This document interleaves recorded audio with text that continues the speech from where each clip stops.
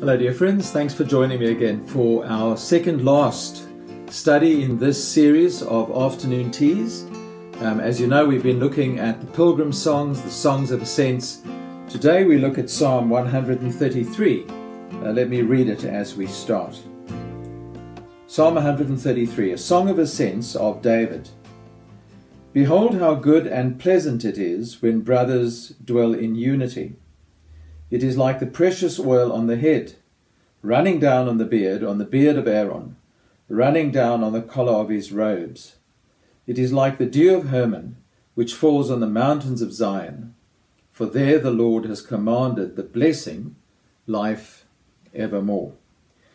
Now, that phrase, um, for there the Lord has commanded the blessing, life evermore, with which the psalm ends, of course, links back to Zion uh, the mountains of Zion, the temple, Jerusalem, the imagery of Aaron and the collar of his robes, all of this places this psalm within the temple and on Mount Zion. And of course, that is quite consistent with these pilgrim songs. Remember that the pilgrim songs celebrate the journey to Jerusalem of the Israelites, um, traveling up in obedience to the Lord, celebrating the great festivals meeting together in the place where God has caused his name to dwell, the place of the Lord's dwelling, which is also then the place of blessing. And we've seen that time and time again in these songs that to be in the presence of the Lord is to be in the place of blessing. It's the Lord who bestows blessing. It is the Lord indeed, verse 3, who gives eternal life. And so as the believers celebrate the Lord and his gifts, they think about this great blessing of eternal life, which is to be enjoyed in His presence. In fact, eternal life and the presence of the Lord are almost synonymous with each other because to be cut off from the Lord, as we know from the Garden of Eden story, Genesis 3, is to be cut off from the tree of life. But to be in the presence of the Lord is to be able to enjoy life evermore. So it's a wonderful picture of God bestowing his blessing of everlasting life upon his people. However, the psalm begins with a statement. And the statement is a very, very important one. How good it is, or how good and pleasant it is, when brothers dwell in unity. Now, good and pleasant are words worth thinking about. Good is more objective. In other words, what the psalmist is saying, objectively speaking, is that unity amongst believers is a good thing. Um, it's good because it's linked to the Lord who calls his people to unity, the Lord who is good. It's good because it's linked to that experience of blessing and eternal life. So, unity amongst believers is a good thing in and of itself, but it's also a pleasant thing. That is, it's a good thing for those who experience it. Uh, to experience disunity, and I, am sure you'll be aware of this if you've ever experienced any kind of, of rupture of relationships or or breakup of relationships amongst believers, or perhaps witness something like that in a church that you're aware of, where the church is split, some terrible things that have happened.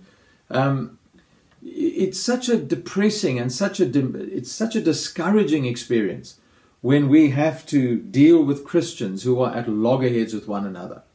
The Apostle Paul, throughout his ministry, had to deal with Christians who were fighting with each other. And he keeps reminding them of the fact that unity is something to which we are called as believers. In fact, Ephesians is the great letter about Christian unity. God breaking down walls of division and uniting Jew and Gentile in the case of Ephesians.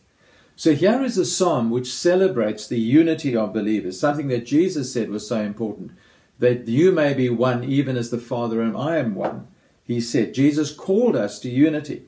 But from the very beginning of God's people, unity amongst believers was something really, really good from God's point of view and pleasant from the experience of those who enjoyed it. We have two similes in the psalm. They might seem rather strange ones to you.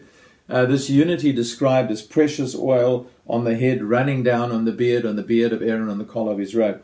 Now, I think what we need to remember is that anointing with oil uh, was often a symbol of, of hospitality. When you entered um, someone's home, then you were anointed with oil. In fact, uh, just on Sunday, as we looked at Luke 7 with Scott, and the story of the woman who anointed Jesus' head and, uh, and washed his feet with her tears.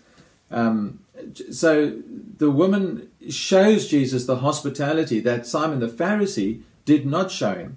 So the anointing with oil is a symbol of hospitality as much as it is a symbol of consecration.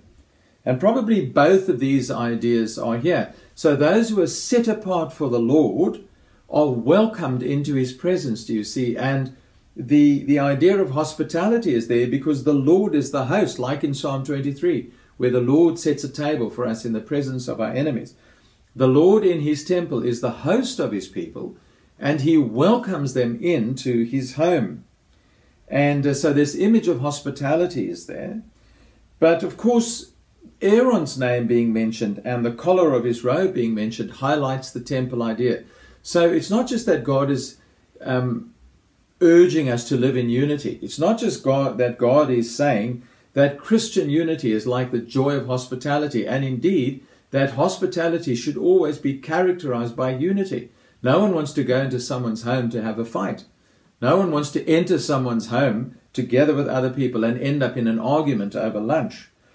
So the, the picture of hospitality and unity go together. In fact, it's a family picture, ideally.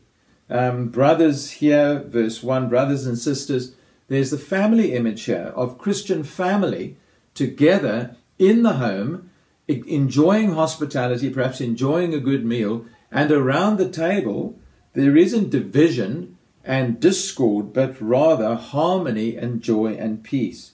But the imagery of the, of the collar of Aaron's robe and Aaron's beard reminds us that the one who is the host is the Lord in his temple. So think how that fits into the pilgrim songs.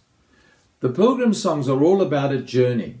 They're about a journey between redemption and joy and peace and blessing in the presence of the Lord.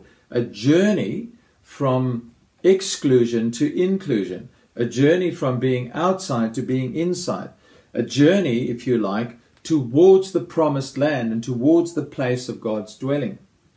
And so, as they arrive at this place of dwelling, what do they experience? The answer is they experience God's rich welcome, everlasting life, and His blessing, and they experience deep unity among themselves. Now, just in recent times, there's been a lot of discussion and debate around issues of ethnicity. Um, we've had conversations about that at St. James. Um, we've been reminded again on Women's Day on Sunday of the importance of uh, respect and care and love um, for women and girl children in our community. Um, we've talked a great deal about the fact that as Christians, we should not be characterized by divisions and by racial prejudice or snobbery um, or ethnic prejudice or anything like that. Can you see how this psalm really speaks into this world of ours at this time? How important it is.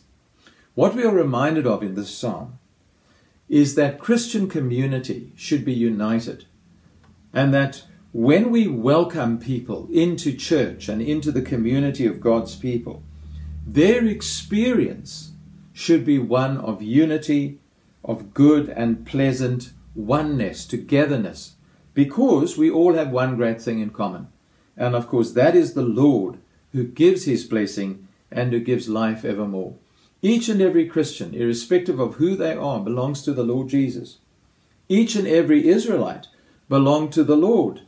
And so, as the psalm celebrates the unity of God's people, because he has redeemed them, because he has called them to himself, and because he has given them this place of blessing, so we, who know this redemption in an even deeper and more profound way in the death and resurrection of Jesus, should be committed to this unity.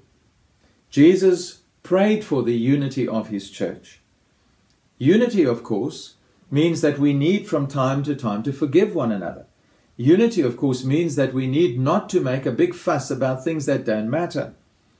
Unity means that we put the main thing as the main thing, and that we keep the gospel, from our point of view, the gospel central, and we see that in the gospel, God is bringing together, as Scott reminded us in that wonderful series about scattering and gathering, God is bringing together in the gospel men and women, old and young, from every tribe and tongue and nation under heaven to be part of his one people of God. And what a wonderful thing, what a good and pleasant thing it is when Christians dwell together in unity. May God grant that that is our experience, for there the Lord has commanded his blessing, and there we enjoy and celebrate the abundant life that is ours in Jesus Christ. Thanks for joining me. Tomorrow we end with Psalm 134. It's a great invitation to praise and to worship and to lift up our hands in the presence of the Lord who calls us to be part of his family. See you tomorrow.